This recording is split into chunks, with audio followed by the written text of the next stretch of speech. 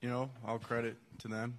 They won the game in the 60 minutes that was played, and uh, you know they're a good football team. No matter what it is, uh, they they got the win and uh, fought our hearts out. There's a lot of things that uh, we could have done better. Can't wait to watch the tape, but we'll be back, and I promise that.